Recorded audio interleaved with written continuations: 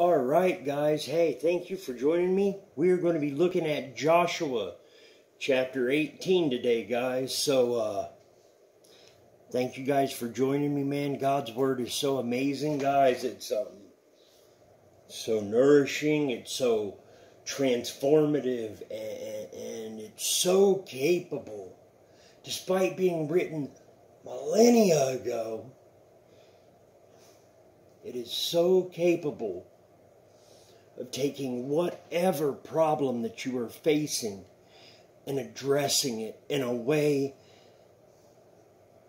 that so often feels like it was written exclusively for you and your moment and your struggle. And in a sense, it was, because it is a living, breathing document. it, it is, it, it is the breath of God in a form that we can take in and digest in our natural state. If that makes any sense, let me shut my big yam. Let's get into some prayer, and we're going to look at Joshua 18, guys. God bless you. Heavenly Father, Lord Jesus, we just want to come before you today, Lord. So grateful, so thankful, Lord, for you being who you are, God, despite everything else. Father God, thank you for this chance to utilize YouTube, Facebook, the internet, all of these things that can and so often do uh, find yourself employed in, in negative uses, but we can employ them for good. We can make use of them. We can utilize them to spread your word, your will, your way, your love out into this lost and fallen world, and we can go into every corner, Lord. Please help us to do that, Lord. Guide us in our work, Lord. Lead us in our life. Direct us in our soul's path, Lord, as we make our walk of faith through this world, moment by moment, day to day. Um, Father God, thank you for this chance, as I said, to come together. Please make it a nourishment to the flock and allow it to grab the attention of anyone else out there, like I was for so long, lost to sin, lost to the flesh, still listening to the world, the lies of the enemy, and, and, and secularness at large, Lord. Um, Heavenly Father, I pray for a blood covering over the hearts and minds and a hedge of protection around the lives of children and the infirm and anyone unable to do so for themselves, Father God. Lord, I just want to lift my hands for a minute, Lord. Wherever you're at, guys, just take a moment and lift your hands up quietly to the Lord and just feel His presence. Feel His presence among us. Father God, we invite your love, we invite your anointing, we invite your, your presence into this moment of coming together over your word, Lord. Thank you for the gift of the Holy Spirit. Thank you for all that you do, Father God. Guide us, lead us, direct us. And thank you, Father God. We pray all of this in your holy, heavenly, and mighty name. In Jesus' name. Amen, guys. All right, so um, uh, let's look at Joshua 18, guys.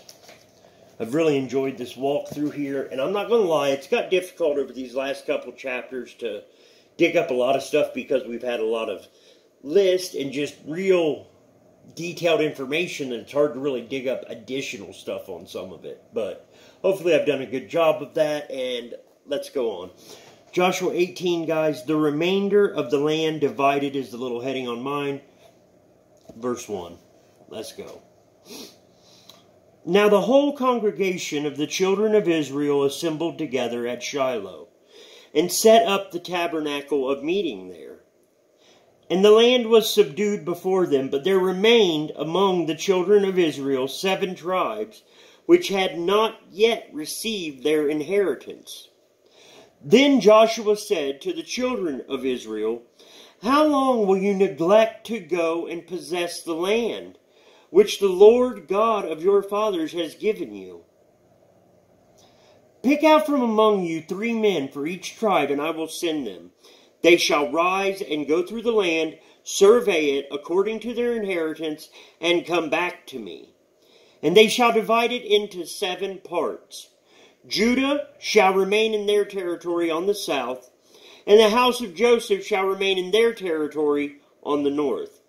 You shall therefore survey the land in seven parts, and bring the survey here to me, that I may cast lots for you here before the Lord our God. But the Levites have no part among you, for the priesthood of the Lord is their inheritance. And Gad, Reuben, and half the tribe of Manasseh have received their inheritance beyond the Jordan on the east, which Moses, the servant of the Lord, gave them. Then the men arose to go away. And Joshua charged those who went to survey the land, saying, Go, walk through the land, survey it, and come back to me, that I may cast lots for you here before the Lord in Shiloh. So the men went, passed through the land, and wrote the survey in a book in seven parts by cities. And they came to Joshua at the camp in Shiloh. Then Joshua cast lots for them in Shiloh before the Lord. And there Joshua divided the land to the children of Israel according to their divisions. Now the lot of the tribe of the children of Benjamin came up according to their families. And the territory of their lot came out between the children of Judah and the children of Joseph. Their border on the north side began at the Jordan, and the border went up to the side of Jericho on the north, and went up through the mountains westward. It ended at the wilderness of Beth Aven. The border went over from there toward Luz, to the side of Luz, which is Bethel, southward. And the border descended to Ataroth Addar, near the hill that lies on the south side of lower Beth Horon. Then the border extended around the west side to the south from the hill that lies before Beth Horon southward, and it ended at Kirjath Baal, which is Kirjath Jearim, a city of the children of Judah. This was the west side.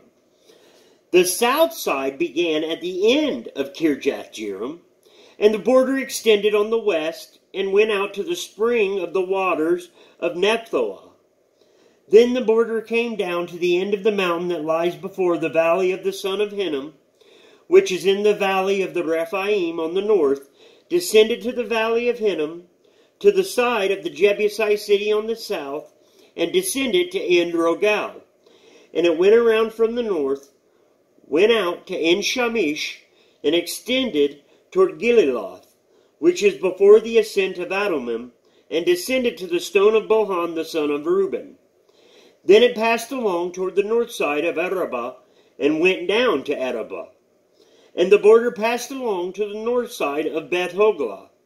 Then the border ended at the north bay at the Salt Sea at the south end of the Jordan. This was the southern boundary. The Jordan, the Jordan was its border on the east side. This was the inheritance of the children of Benjamin, according to its boundaries all around, according to their families. Now the cities of the tribe of the children of Benjamin, according to their families, were Jericho, Beth Hoglah, Emek Keziz, Beth Arabah, Zemaraim, Bethel, Avim, Parah, Ophrah, Shepharhamonah, Ophni, and Gaba, twelve cities with their villages. Gibeon, Ramah, Beeroth, Mizpah, Chephirah, Mozah, Rekem, Irpeel, Taralah, Zelah, Eleph, and Jebus, which is Jerusalem, Gibeath, and Kirjath, fourteen cities with their villages. This was the inheritance of the children of Benjamin according to their families. So as I said, guys, a lot of the stuff here that we've been reading is extremely detailed accounts, which, if you're interested in stuff like that, and I know I am a lot of times, you can really go and type in some of the names and really do some digging and find some old maps. And, and, it just, you know, time spent and all of that stuff, it can just enrich our understanding of, of the Word and sort of provide us a better, a better mind's eye. It's like if someone were to describe something to you using north, south, east, and west, you can understand that. But if they could also describe it to you using the towns where you're from, then that's going to make it even more understandable. It's going to provide a, a, a, picture that has more depth in your mind's eye. And that's the idea behind stuff like this, in my opinion. So, guys, let's flip back here. Thank you guys for coming along on this walk through God's Word. How wonderful it is to come together over our love and our need for Scripture. And that's exactly it. Not only do we love it, but we need it.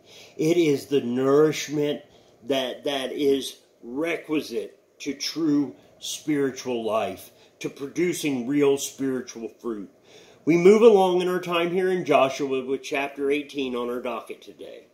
Over the course of today's chapter, as well as tomorrow's, chapter 19, we learn that at this point in the narrative, seven of Israel's 12 tribes were still yet to occupy land. In short, at least where these tribes are concerned, the land allocation process is not identical to what has come before. The land or territory not yet taken is surveyed and then split up into seven regions. At that point, with seven equally divided portions of land, lots are then cast to decide upon the allocation and which district will go to which chosen tribe. Let's look at verse 1, guys. Now the whole congregation of the children of Israel assembled together at Shiloh, and set up the tabernacle of meeting there, and the land was subdued before them. So some background on Shiloh. This was a city located in Ephraim, a place as of yet insignificant in the history of Israel, and yet here, as we are told in Deuteronomy, it becomes the place where the Lord your God chooses. In the coming time of David, however, we will see a switch with Jerusalem as God's place of choice. And in this, with David's choice of this, it speaks to a rejection of, of Ephraim and Shiloh as its city, all in favor of Judah as a tribe and Jerusalem as a city. Here we also have a unique name for the tabernacle. We're told it's the tabernacle of meeting. Well, what, wait, what meeting? The meeting that they're talking about, the meeting in sight with a title like this, is that glorious meeting of God with his people, of, of, the, of the covenant makers with the covenant keeper, the creator and the created. Let's look at verse 2, guys. But there remained among the children of Israel seven tribes which had not yet received their inheritance. So often we refuse to accept God's commands, and what's really crazy is how often we also refuse to accept God's promises. These seven tribes were right there along with the others of the twelve for the battles. They were part and parcel to the enemy's defeat, and yet, of the twelve, seven exhibit hesitancy in laying claim to that which God has promised. In all of this, we again see excellence on Joshua's behalf as he provides honest, practical guidance, offering help so as to foster obedience among the people toward God Almighty. Amen. Let's look at verse 3. Then Joshua said to the children of Israel, How long will you neglect to go and possess the land which the Lord God of your fathers has given you? Will you neglect, or more literally, be slack? How long will you be slack? God, Joshua, any any leader or father, like any disrespected father, we see here is begging that age old question of when? When are you going to do something? When are you going to get up off of the couch? When are you going to get up off of your butt, Israel, and do what I have said? Here, possess has a bit more depth than what we would understand the word to mean, and in fact means to occupy the land in total. This differs greatly from that initial conquest.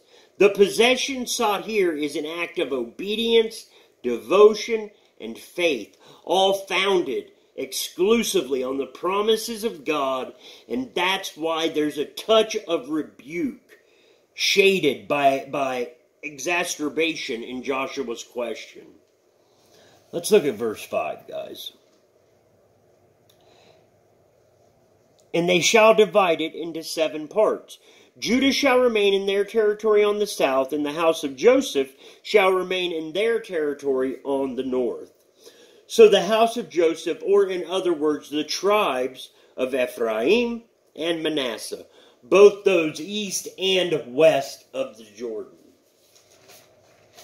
Look at verse 6, guys. You shall therefore survey the land in seven parts and bring the surveys here to me, that I may cast lots for you here before the Lord our God. So, in our author's language, we see how the presence of God finds its earthly representation in the tabernacle, recalling the ark's design, and that elsewhere in Scripture, God speaks to Moses from where? From between the two cherubim.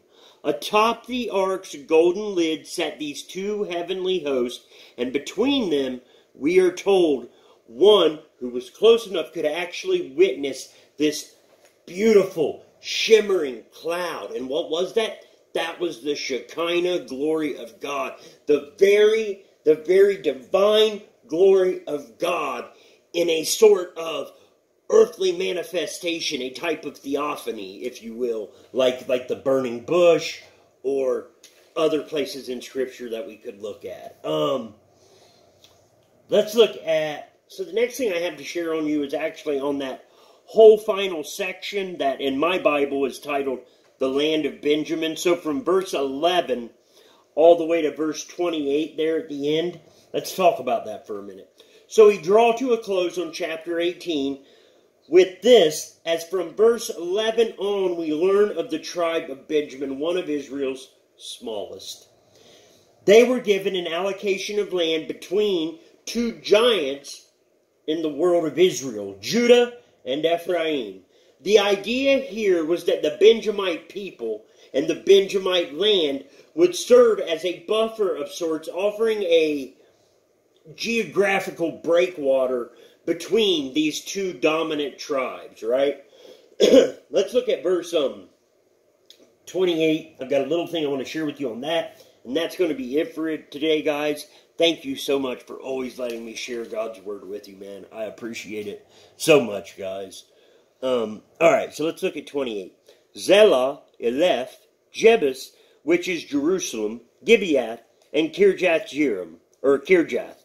Fourteen cities with their villages. This was the inheritance of the children of Benjamin according to their families. So, just some extra facts. Eleph, this city, is mentioned only here in all of Scripture. Okay? Also, we have this town here, Jebus, Jebus, Jebus. This is yet another name for Jerusalem.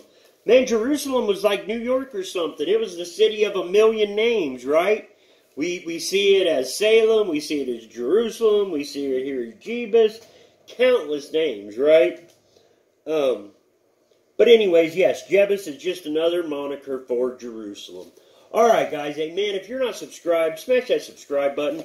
I drop a new video like this six days a week, guys, and I promise, man, Father God loves it when we're in His Word. Not only that, guys, but it's where you're going to find victory. It's where you're going to find um, a productive life. You're going to find peace, joy, happiness, whatever it is. Break out your thesaurus. Look for all the things in life that you want to be able to say about your life.